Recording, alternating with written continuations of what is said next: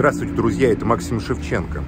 В России сегодня есть несколько имен, которые символизируют борьбу общества за свободу и справедливость, за права и за человеческое и гражданское достоинство. Это, безусловно, Алексей Навальный, э, Николай Платошкин и Сергей Фургал. Я бы добавил еще Абдулмина Гаджиева, Расулу Кудаева, менее известных обществу. Ну вот э, Сергей Фургал – губернатор, и мы часто критиковали Сергея Фургала. Парадоксальным образом, сегодня, когда я был на процессе Николая Платошкина, который боролся с Сергеем Фургалом в Хабаровском крае, и Николай Николаевич Платошкин доказывал а, э, свою невиновность и абсурдность обвинения. И в этот момент пришла информация о том, что Сергей Фургал, которого по запросу следствия этапировали из матросской тишины, где он находился на лечении в СИЗО матросской тишины после э, тяжелейшего ковида, в Лефортово его этапировали, он потерял сознание. А это власти так напугало, что даже официальные агентства типа ТАСС стали об этом сообщать, потому что всем понятно, что если Сергей Фургал умрет в больнице или с ним что-то случится серьезное в больнице, такое, что радикально подорвет его здоровье, хотя, на мой взгляд, это уже случилось, то никто власти никогда в жизни не поверит, что это случилось случайно.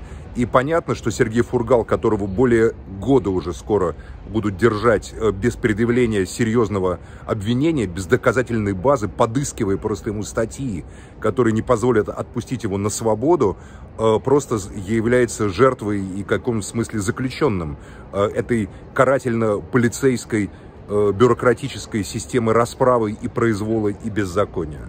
А, детально о том, что происходит с Сергеем Фургалом, мы попросили прокомментировать его сына Антона Фургала, который связался с адвокатами и прислал нам вот такое вот информационное сообщение. Здравствуйте, Максим. Я сейчас расскажу, что происходит с Сергеем Ивановичем.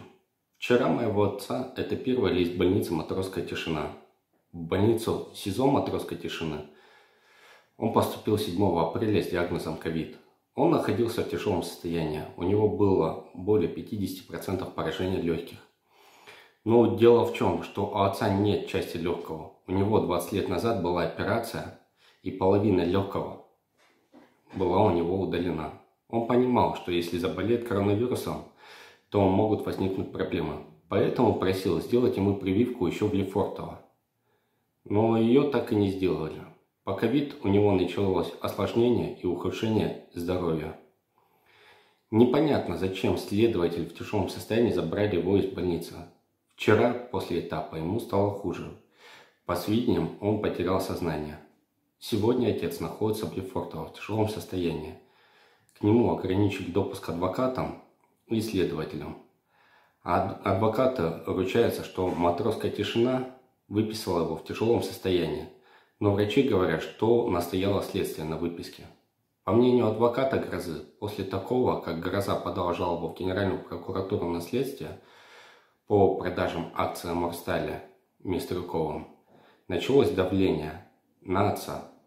К нему не пускают адвокатов, мы не знаем, что происходит.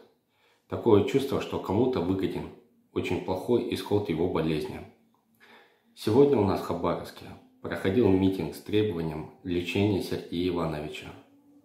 Хабаровчане и жители нашей страны массово обращаются в администрацию президента, в Следственный комитет, к уполномоченному по правам человека и требуют его отправить на лечение в больницу. По дальнейшим новостям буду сообщать.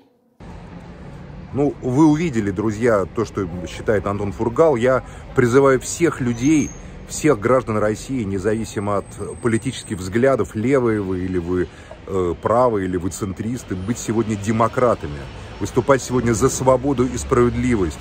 Только консолидированная позиция борьбы за гражданские права позволит нам защититься от этой безумной репрессивной машины, которая мало того, что штампует приговоры, но и полностью уничтожает в России понятие правосудия и юриспруденции. Это Максим Шевченко. Свободу политзаключенным. Поддерживайте борьбу общества за гражданские права.